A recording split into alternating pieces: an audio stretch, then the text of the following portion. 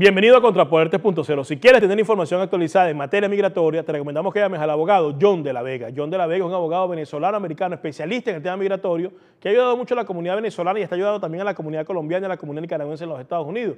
Así que si quieres saber cómo está funcionando el servicio de inmigración, cuáles son las tarifas que han aumentado, qué está pasando con la visa de los estudiantes, qué pasa con las residencias permanentes y temporales, llama al abogado John de la Vega al teléfono que se encuentra en pantalla o en su defecto, escríbele al correo electrónico que se encuentra en pantalla. Hoy, como todos los lunes, tenemos el segmento Develando Verdades. Contrapodertes.0 comienza ya. Este programa es presentado por John de la Vega, abogado de inmigración.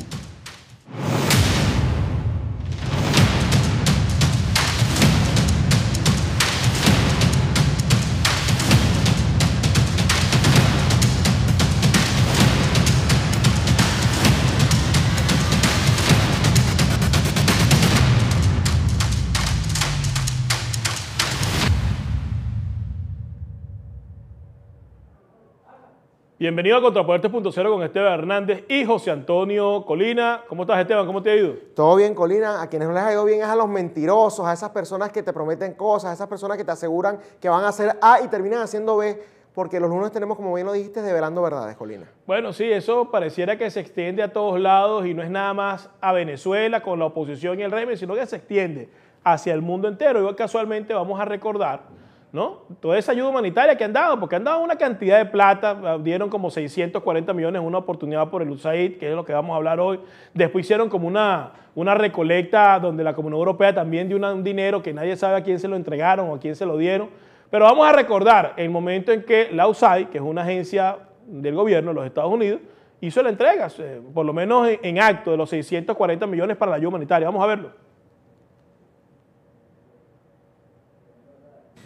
Uh, we've just had uh, a wonderful conversation, uh, Ambassador Vecchio and myself and the rest of the delegation. I've been impressed with their leadership uh, since we first met back in January. In the meeting today, I was able to give them the great news that I'm announcing $52 million in new funding from USAID to support the interim government and the people of Venezuela as they seek to restore citizen responsive democratic governance and uh, repair the provision of health services in their country. USAID and the Trump administration more largely fully support the interim government of Juan Guaido, the democratically elected National Assembly, and the Venezuelan people as they work to end the illegitimate Maduro regime. Bueno, ahí en ese video están entregando 52 millones, fue el que le Sí, escuchó. 52. Ah, ese es Mark Green, ¿no? Mark Green, correcto. 52 millones estaba Carlos Vecchio, Julio Borges. Eso es parte de lo que han dado en la ayuda humanitaria. La pregunta que todos nos hacemos es, bueno, ¿qué hicieron con ese dinero? Por fin lo habrán utilizado para la ayuda humanitaria, se habrán dado salarios ellos como diputados y como, y como embajadores, porque había una propuesta para que ellos ganaran como que eran cuánto, 5 mil dólares. Y entonces eso fue un escándalo y después lo echaron para atrás se quedaron callados. O sea que aquí nadie sabe absolutamente nada. La gran pregunta es, bueno, ¿dónde están los 52 millones y en total los 640 que le han entregado a la administración de Juan Guaidó para apoyar tanto la ayuda humanitaria como para salarios de los congresistas o diputados como para los embajadores? Bueno, uno pregunta, pregunta, pregunta y no se obtienen respuestas. Y si vamos a ver los resultados, o si vamos a ver eh, a la gente, ¿no? Porque si dan una plata es para ayudar a la gente.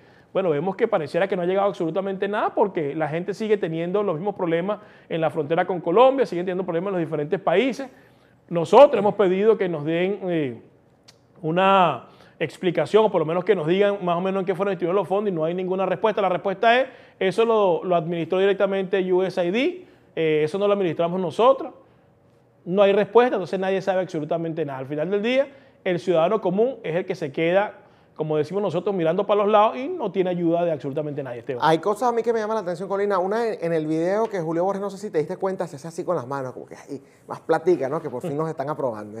Que es sabroso andar recibiendo esas cantidades enormes de dinero y además sin tener que rendirles cuentas a nadie, porque si tú preguntas, eres un tarifado, eres un radical, eres un divisionista, resulta que a ellos hay que darle un cheque en blanco y bueno, por- porque si no lo haces eres un agente del, del régimen, ¿no? Y otra cosa que me, gusta, que me gustaría recordar es que nosotros acá entrevistamos a dos personas, por cierto, de un grupo de venezolanos que eh, le exigieron justamente a la USAID que diera que dijera, ¿no? Porque bajo las leyes de acá de los Estados Unidos uno tiene derecho a saber en qué se están gastando los recursos, porque esos recursos que les están dando, así ven a la gente, ¿no? Eh, eh, estos guaidiotas, como yo los llamo, que vienen a, decirle a uno que uno no tiene por qué andar preguntando esas cosas, déjenme decirles algo. Esos recursos que les está dando el gobierno de los Estados Unidos es con los impuestos de los que trabajamos acá en este país. Es decir, que ese dinero que recibe Juan Guaidó y que recibe el interinato y que han recibido esas eh, ONG a través de las organizaciones y del gobierno de los Estados Unidos, lo financian los, no solamente los ciudadanos americanos, pero también los venezolanos que trabajamos y vivimos en este país. Así que tenemos todo el derecho de preguntar en qué se está, tanto como venezolanos como personas que trabajamos en este país, tenemos todo el derecho de preguntar en qué se está gastando ese dinero. Y bueno, resulta que con respecto al tema de estas personas que eh, pidieron eh, o, exigieron saber en qué se estaba gastando, hubo una respuesta ahí bastante guabinosa. Estamos esperando a que eh, haya mayor claridad para profundizar en este tema, porque te digo, Colina, sí han recibido respuesta, pero no saben muy bien, eh, digamos, bajo las condiciones en las cuales se los están dando. Entonces, dependiendo de eso, eventualmente volveremos a hablar eh, con estas personas en este espacio, porque es muy importante pues, seguir profundizando en Si existiera claridad, fuera muy fácil decir, mira, que se entregaron 640 millones o lo que sea, tanto se destinó para esto, pues se les pagó salario a los diputados tal, tal y pascual, esto se destinó para las ayudas humanitarias a través de organizaciones ONG. En Panamá leímos tanto a tantas organizaciones, en España leímos a tantas, en Colombia leímos a tantas organizaciones, porque eso, si, si lo hicieron, no sería muy difícil eh, poder, poder dar una explicación o por lo menos mostrarlo, que es lo que nosotros estamos pidiendo. ¿no? Pero fíjate que no dicen absolutamente nada. Y cuando no se dice nada, y cuando la gente se hace los locos y voltean por otro lado, es porque hay algo turbio, así la gente le guste, no le guste. Hay una campañita por ahí en Twitter que uno acusa sin prueba. Bueno, ¿qué más pruebas quieren? Pues el dinero lo dieron. Y también hay pruebas de que no han dicho en qué lo gastaron. Entonces, al final uno tiene que seguir presionando y preguntando, porque lo que uno no puede hacer, y lo dijiste muy bien, es darle un cheque en blanco para que hagan lo que le dé la gana. Eso es lo que no se puede hacer y seguiremos insistiendo. En algún momento responderá, o el USAID o responderá a alguien, pero alguien tendrá que responder, Esteban. Así es. Y bueno, Colina, como todos los días tenemos el caso del borrego, en este caso te traigo dos. ¿Tú sabes lo que es Bepex, Colina? ¿Te suena ese nombre? bueno, creo saberlo, ¿no? ¿Crees saberlo? Bueno. Creo eh, saberlo. Hay informaciones de fuentes muy confiables, Colina, que están diciendo en Twitter que, que son una organización chavista. Oh. Pero vamos a colocar, son dos borregos, vamos a colocar al primero en pantalla, es de apellido Herrera Bailando, Bailant, no sé cómo se pronunciará. Dice, mientras Elliot Abrams, a nombre de Estados Unidos, sale a ratificar su apoyo a Juan Guaidó, eso fue en el Congreso la semana pasada, aparece una asociación de onanistas que se llama BEPEX, a decir que no lo reconocen más allá de enero, y luego la gente habla de infiltrados. Estos son de, estos son de antologías, lo que dice el señor, que es periodista para el Universal, El Impulso, Miami Diario, y bueno, otros eh, medios. El Universal de Venezuela. Sí, sí, de Venezuela, oh. correcto. Vamos a ver ahora el segundo borrego que te traigo, Colina. Una persona bastante conocida, eh, ahí la tienes en pantalla, se llama Marta Colomina, y ella asegura que Bepe que está infiltrada por el chavismo, el mismo que promueve las protestas radicales en Estados Unidos y ha arruinado a Venezuela. Imagínate tú, esta señora que, bueno, ya la, credibilidad la ha perdido por donde sea, por varias razones. En primer lugar, que nosotros estamos promoviendo acá esas, protestas cuando acá les hemos caído encima a todos esos grupos radicales de izquierda que financian justamente la izquierda que ustedes están apoyando, ¿no? Porque ustedes quizás apoyan una izquierda más light, pero ustedes apoyan socialistas. Y eso fue lo que, lo que eh, a Elliot Abrams se lo dijeron tanto el senador Murphy como el senador Rand Paul, ¿no? Que bueno, el, caso de Venezuela ha sido bastante turbio, no, no ha habido respuesta, no ha habido resultado de ningún tipo, y Rand Paul enfatizó el hecho de que la, alternativa que le estaban eh, ofreciendo Em, a, Venezuela y a los venezolanos era justamente otro socialismo, un socialismo más light o más decente, como él quiso decir, pero que él dice que al final es socialismo. No. En segundo lugar, esta señora, y yo me acuerdo claramente, tengo, mira, a, mí se me olvidan, Colina, nombres y fechas, pero me acuerdo de todo lo que la gente dice. Y esta señora, desde que yo tengo uso, uso de razón, en Venezuela viene diciendo que el régimen está, y cito, técnicamente caído. Esa era la frase favorita de esta señora, así que bueno, ahí ustedes ven ya la credibilidad de las fuentes de, este individuo. Y además me acuerdo que lamentablemente no lo pude conseguir, ¿no? Pero búsquenlo si quieren en, YouTube, eh, cuando Patricia Poleo hace mención a esta señora, Marta Colomina, que le envió mensajes directos a Patricia Poleo diciendo que no había que atacar a la oposición, sino que, eh, que atacáramos nada más al régimen independientemente de lo que ellos hicieran. Es decir, que hay que darle justamente un cheque en blanco. ¿Qué credibilidad puede tener una persona como Marta Colomina, que se hace llamar periodista, pero que se comporta como? Como activista. Realmente acá lo que está demostrando es que ella sigue agendas, ella no le interesa informar a la población, sino complacer al politiquero de turno. y, demuestra que tiene Alzheimer también, bastante. Porque hace como, retweet, ¿no? a- hace, hace como un mes tuiteó algo de Bepex, ¿no? Que una información que no es nada de esto, por cierto, pero ahora dice que nosotros somos infiltrados. Bien lamentable bueno, que ella piense de esa manera, ya sabemos cuál es su agenda. Sabemos también que a lo mejor ella cree que todavía es presidenta de BTV, del Canal 8, porque ella estuvo ahí como directora, presidenta, no con Chávez. Pero Antes, sí, obviamente cuando fue, me imagino que nunca atacó al régimen, ni- no atacó al gobierno de turno en ese momento, ni lo cuestionó, claro, porque la- creo que fue con la- en la época de Lucinche que la colocaron, no estoy muy seguro. Ella trabajó allí y también eh, es alguien pues, que ha estado muy siempre cercano a apoyar a todos estos elementos de la oposición, que no importa lo que haga, hay que apoyarlos a como dé lugar. Y el que no lo apoye, eh, la excusa es la misma siempre, son chavistas, Son son infiltrados. eh, pues, les paga el régimen, les paga Diosdado, les paga Maduro. Bien lamentable. De todas maneras, eh, yo imagino que si ella le los comentarios de, la estupidez que puso, se dará cuenta que la mayoría de la gente pues la cuestiona le dice, mire, ¿qué está hablando usted? Usted está diciendo cosas que no son verdad y ese es el mejor escrutinio, el escrutinio público. Y con respecto al señor que colocó la información, que no sé quién es, bueno, si es periodista o es colaborador del Universal, eh, el que trabaja con el régimen no soy yo, le recuerdo que el Universal es de Gustavo, de Gustavo Perdomo, o de no sé qué Perdomo, que era socio de Gorrín en Venezuela. Así que si usted está ahí, el que apoya al régimen no es precisamente Bepex, ni José Colina, ni Esteban Hernández, ni Vicente Pugliese, o los que conformen Bepe, los que apoyan al régimen de manera indirecta, son ustedes. De todas formas, el clásico argumento, si no estás con nosotros, eres parte del régimen. No, nosotros no estamos con nadie, estamos con la verdad nada más. Todo aquel que mienta, todo aquel que se comporte de una forma errónea, todo aquel que no haga lo que tiene que hacer, nosotros lo someteremos al escarnio público, les guste o no les guste. Si les gusta, chévere, y si no les gusta,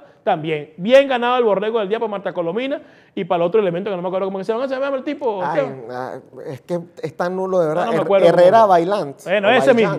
Par de No sé borregos cómo se los dos. Sigan así. Le damos el borrego de bronce a Marta. El- el Ese- borrego ese de lo tenemos bronce, disponible. Ok, el borrego de bronce, Marta Colomina, de verdad, para que vuelvas a tener algo de exposición, porque bastante tiempo que pa- pasaste de estar en la cúpula a estar como que bastante Ahora inventando en el anonimato. Así que, inventando bueno, estupidez. Borrego de, de bronce. Mientras Marta Colomina dice que Bepe son enchufados y otro idiota dice que son obamistas, eh, Alex Saab, que está por allá metido en Cabo Verde esperando que Cabo Verde le apruebe su extradición, hoy salió llorando ahí que mandó una carta a Cabo Verde diciendo que, que bueno, que tenían que tratarlo de otra forma y que tenían que eh, dejar ese juicio por el piso, porque él realmente esto es algo político que él no tiene nada que ver, o sea, que él tiene un pasaporte diplomático y que él no, no es responsable de nada. Ah, debe ser que las acusaciones que tienen aquí en Estados Unidos por pasaporte diplomático, debe ser que las acusaciones de lavado de dinero y de moverle todo el esquema financiero para que Maduro va a dar las sanciones, eso tiene que ver con el pasaporte diplomático.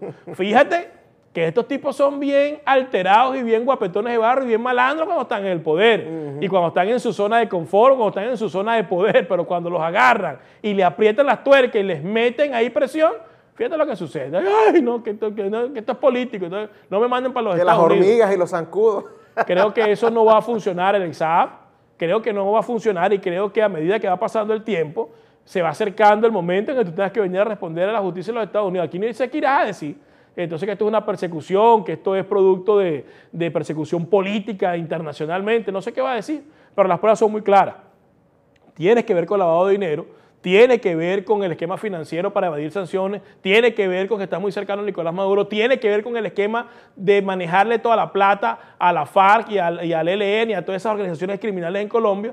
Así que, aunque mandes carta, de esta no te salva. Y fíjate algo, Colina, la, la frase que, que- que él pide en la carta es la siguiente, pido justicia. Es decir, Bueno. un tipo, pero, pero es que justamente eso es lo que está, está siendo víctima, entre comillas, víctima justamente de la justicia. Un tipo que tiene nexo con el, con el narcotráfico. Un tipo que, bueno, este estaferro de un régimen narcoterrorista, ¿no? Que también está judicializado y tiene precio en la cabeza a- acá en los Estados Unidos, la de Nicolás Maduro, y es este tipo es estaferro de ellos. Un tipo que además se le probó ya los nexos que tiene con la FARC y la ayuda que les estaba dando económicamente para que llegaran al poder. Un tipo que, bueno, ha sido el principal violador de, de- de las sanciones, o por lo menos el estratega para lograr la, eh, la- la violación o la triangulación de las sanciones hacia el Estado venezolano. Entonces, bueno, él está pidiendo justicia. Te están dando justicia, Alexa. Yo no sé qué es lo que estás pidiendo. Te están dando justicia. Eh, resulta, pa- para que entiendas un poquito, ¿no? Cuando uno comete crímenes en un país con justicia, uno las paga, uno paga una condena. Claro. Lo que pasa es que en Venezuela eso no pasa. Bueno, porque en Venezuela no hay justicia justamente. Pero tú que estás pidiendo justicia, estás siendo justamente parte del sistema de un país con justicia. Entonces cuando termines acá y vengas preso, también se te, eh, eh, ver- ver- verás, digamos, que tendrás un proceso bastante bajo la ley, ¿no? Con tus crímenes, con las pruebas, todo eso también se va a hacer justicia. No puedes andar llorando porque lo que te, te están dando justamente es justicia. Ah, lo que pasa es que tú lo que quieres es impunidad. Eso es otra cosa. Y recuerdo, además, que, que él lo utiliza como un, como un arma, ¿no? El hecho de que, ah, es que yo, yo tengo pasaporte diplo- diplomático, ¿no? Bueno, este señor ni siquiera es venezolano. Eso más bien empeora, porque esto reafirma los nexos que tiene el régimen venezolano con el narcotráfico del terrorismo. Así que bueno. Conclusión, Esteban, Alex Saab pidió justicia y justicia vas a tener. Así no es, te preocupes que justicia vas a tener. Y la vas a tener en un país donde el sistema judicial, con sus problemas o no, funciona mejor que en cualquier lugar del mundo. Así que no te preocupes que esa carta va a tener su efecto y justicia va a tener. Esperemos que eso acelere tu llegada acá a los Estados Unidos para que tengas la justicia que tú te mereces y la que nosotros estamos pidiendo como venezolanos por haber sido parte de ese esquema de corrupción que ha llevado a millones de personas a la miseria. Y que él también está pidiendo. Así que bueno, las estamos pidiendo todos. Justicia para Alex Saab, por favor. Me sumo entonces a su carta. A su Hagan justicia también. con él. Hagan justicia con Alex Saab. Bueno, Colina, por supuesto, como todos los lunes te- tenemos la encuesta de la semana que la pueden conseguir en nuestra cuenta oficial de Twitter, arroba contrapoder30. Recuérdense que esta es la nueva cuenta, arroba contrapoder30. Síganos si quieren ver las noticias que colocamos. No, hablamos de todas ellas acá en el programa, pero es bastante interesante para que estén bien informados. Síganos también para que vean lo que, lo que publicamos los dos conductores, tanto Colina como yo, eh, en, en esa red social y también para que voten en la encuesta. Como les digo, los lunes acá la tenemos eh, para presentársela a ustedes. Y la pregunta es, ¿reconocerá usted a Juan Guaidó como presidente interino y a la Asamblea Nacional después del 5 de enero del año 2021? Solamente dos opciones, sí o no. Ahí están viendo en pantalla algunos resultados. Sin embargo, tienen hasta el día de mañana o el día miércoles para votar. Ya han votado 7.047 personas. 55.5 dice que no, 45.5 dice que sí. Una diferencia bastante notable, ¿no? 10 puntos eh, con respecto a la opción de- del no. Ya veremos qué sucede. Pero sí te digo, Colina, que hubo mucha gente que incluso esta pregunta le pareció hasta, hasta blandita, porque hay muchos que dicen, yo no lo reconozco desde ya o desde ayer. Entonces, bueno, Bueno, por ahí es más o menos la eh, Pero tendencia. eso también para los que dicen, bueno, ustedes que están hablando a nombre de todo el mundo, aquí todo el mundo quiere a Juan Guaidó y todo el mundo lo reconoce. Bueno, Exacto, eso es una encuesta. Bueno, esto es una encuesta. Exacto. Aquí la gente tiene derecho a votar. Yo, yo le invito, si no les gustan los resultados, la pueden hacer en su cuenta también, o la pueden hacer en la cuenta de Juan Guaidó, donde ustedes quieran. Parece que todo el mundo está de acuerdo con Juan Guaidó y todo el mundo se va a comer el cuento ese que no vamos a, tener presidente interino después del 5 de enero del año 2021. Ahí está una encuesta, 7 mil y pico de votos, no está nada desestimable. Así que bueno, les recomendamos que participen y voten y a los que no nos siguen, como les informó Esteban, pues síganos en la cuenta de Contrapoder 30, porque la otra pues fue suspendida y nunca nos la devolvieron. Vamos a hacer una pausa y regresamos con más de Contrapoder 3.0, el programa de la derecha en Factores de Poder que definitivamente es el canal de la información, duela que le duela, ya regresamos.